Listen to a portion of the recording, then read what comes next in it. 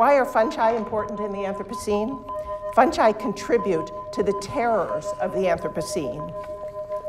At the same time, fungi also make the regrowth of plant life possible in the face of human disturbance, restoring forests and other complex ecosystems.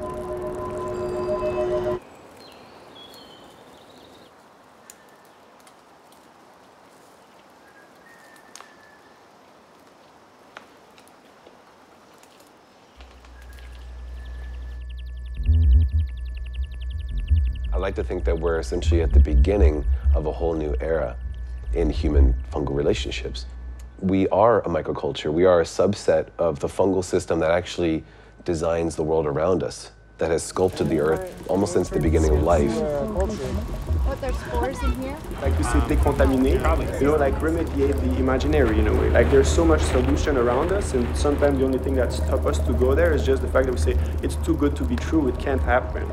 You know what I mean? So then we try to bring the people to that whole idea that they could take back some power in their life and just like, you know, heal the earth.